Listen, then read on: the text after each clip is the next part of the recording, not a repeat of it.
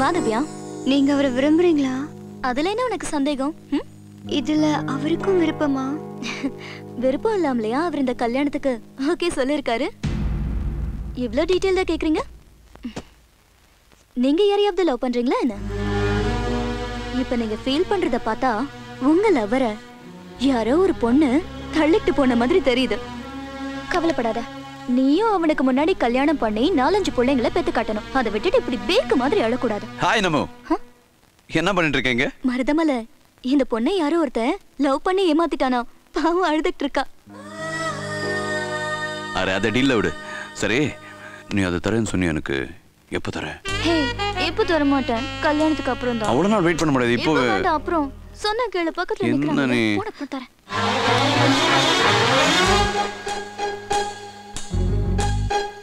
ஒரு நாள் பண்ணதுக்கு இப்படி ஆயிட்டியே? எத்தனை நாள் நீ என்ன ஏமாத்திருப்ப? மருதமல்ல என்ன லவ் பண்ணல? உங்களை தான் லவ் பண்ணிட்டு இருக்காரு. வந்த அன்னைக்கு எல்லாத்தையும் சொல்லிட்டாரு. ஆ, தங்கமான பொண்ணு. வாழ்க்கையில எந்த எதிர்பார்ப்பும் இல்ல. பொய் சொல்ல மாட்டா. சின்ன சின்ன ஆசைகள்னு ஒரு லிஸ்ட் ரெடி பண்ணா. அதுல மாட்டினா ஒரு மானஸ்த.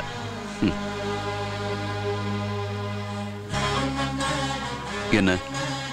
அதுல பாதி கூட நீங்க நிறைவேற்றலைங்க. ஆதாரத்தை தருகிறேன். மேம்பால ஊழலுக்கு மூல காரணமானவர்களை கைது செய்ய போலீஸ் தயாரா? இந்த ஊழலில் நேரடியாக சம்பந்தப்பட்டிருக்கிறார். கைது பண்றோம்னு இந்த காவல்துறை சொல்லட்டும். இப்பவே எல்லா ஆதாரங்களையும் உங்ககிட்ட காட்ட நான் தயார். சிறப்பு செய்திகள். மேம்பால ஊழல் தொடர்பான புலி அறிக்கையால் சட்டசபை ஸ்தம்பித்துள்ளது. தெரியுமா சேதி?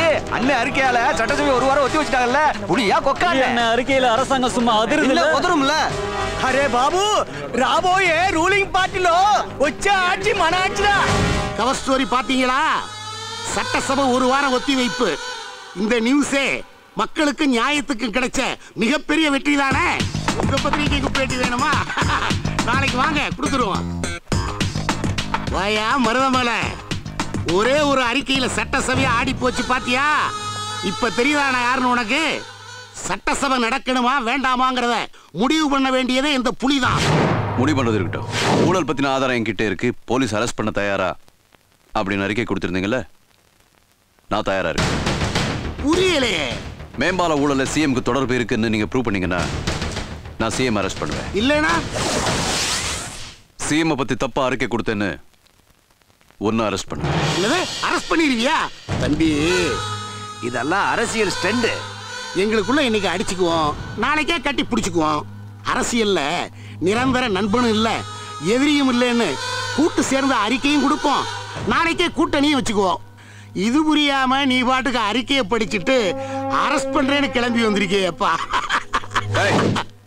ஆதாரம் இருக்கா? இல்லையா? மருதமலை. நீ யார்கிட்ட பேசுறேன்னு தெரியாம பேசுற. நீ கோவப்படுறது பார்த்தா உன்கிட்ட எந்த ஆதாரமும் இல்லைன்னு நினைக்கிற? இல்ல.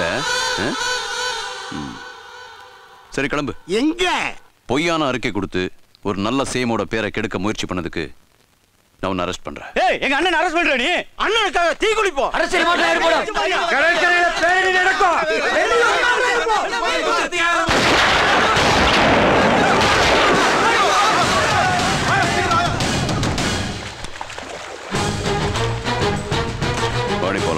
கூட்டிட்டு போற மருதமலை சொல்றவா? இந்த பாரு நான் மக்கள் சொத்து நடமாடும் பல்கலைக்கழகம் நாளைக்கு பஸ் ஓடாது. ரயில் ஓடாது. கடையை திறக்க மாட்டாங்க. நாடே தீப்பிடிச்சு எரியும். ஏட்டையா எவ்வளவு மாவுள கொடுத்தாலும் வாங்கியே. இன்னைக்கே இவ்வளவு உக்குற எடுத்து ஆடுறேன் இவ்வளவு நாளா கான்செப்ட் இன்ஸ்பெக்டர் ஆனா கோபம் வராம ஏய் ஏன் அடிக்கிற? ஐயா எஸ்பி வீட்ல ஆட்டே போட்டாயா? இல்ல சார். இந்தாங்க நீங்க ஒரு பின் பண்ணுங்க இல்ல சார். சார் அடி சார். இவ்வளவு எவ்வளவு சார். சார் அடி ஐயோ சார் என்ன அடிக்காதீங்க ஐயா. கால்ல இருந்து அடிக்கிறீங்களே. உங்களுக்கு மனசாட்சியே இல்லையா? ஒரு இடைவெளி விட்டு அடிங்க ஐயா. ஆமா சார். இவனை ஓயாம அடிச்சு அடிச்சு எனக்கு டயர்ட் ஆயி போச்சு. வாங்க சார் போய் டிஃபன் சாப்பிட்டு வந்து அடி ஏய் அஞ்சு நிமிஷம் கழிச்சு வர. வாய் திறக்கல. கொன்னே போட்டுருவேன். இன்ட்ரோலா கேக்குற? இறுதி வந்து வணக்கம் போடுறேன் உனக்கு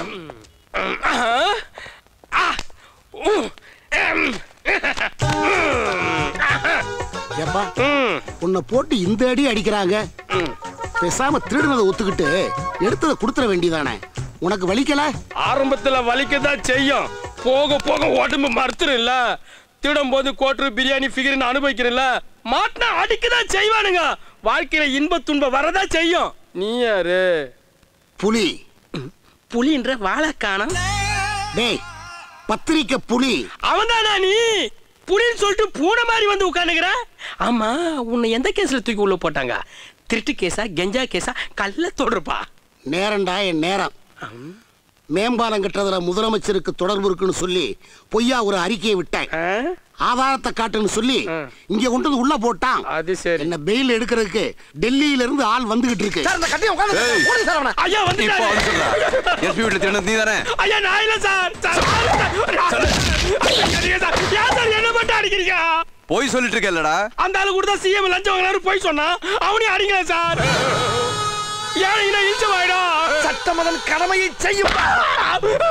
வேணாம் நான் ரொம்ப பெரிய இடம் என் மேல கைய வச்ச நீ உன் ஜென்மத்துக்கு ஃபீல் பண்ண வேண்டியது இருக்கும். தம்பி, அடிக்காதீங்க தம்பி. சுகர் இருக்கு. நீ எல்லாம் கேளுங்க. அடிக்காதீங்க பிபி இருக்கு. பிபி தான் ஊதி காட்டு. அந்த பிபி இல்ல. வேற எந்த பிபி வயித்துல அல்சர் இருக்கு.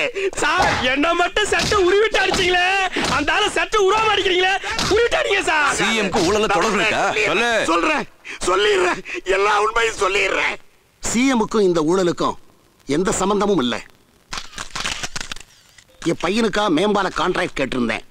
அது எனக்கு கிடைக்கல. அதனால இந்த ஊழலுக்கும் சிஎமுக்கு சம்பந்தம் இருக்குன்னு பொய்யா ஒரு அறிக்கையை விட்டேன் டெண்டர் விட்டதுல எந்த ஊழலும் நடக்கல. அதுக்குண்டான எந்த விதமான ஆதாரமும் என்கிட்ட இல்லை. அப்போ நீங்க சொன்னதெல்லாம் பொய்யா?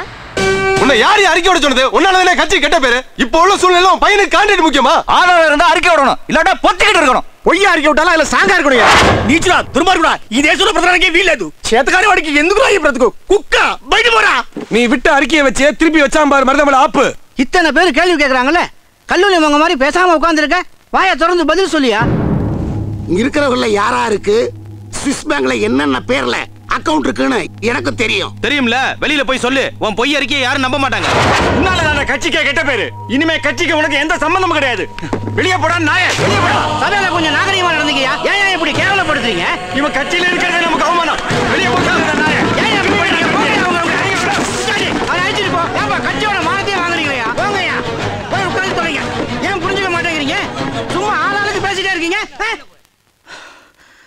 ஒழுங்கு மரியாதையா? நீயா ராஜினாமா பண்ணிடு. அவன் மானசையா கண்டிப்பா ராஜினாமா பண்ணிடுவான். பாவையா செருப்பால் அடிச்சு சட்டையெல்லாம் கிழிச்சு இப்படி அவமானப்படுத்திட்டீங்களே. நம்ம கட்சியை எப்படி டெவலப் பண்ணுவோன்றதை பத்தி யோசிக்காம இது பற்றி சில முக்கியமான முடிவுகளை இப்பொழுது நமது அண்ணன் கோவிந்தன் அவர்கள்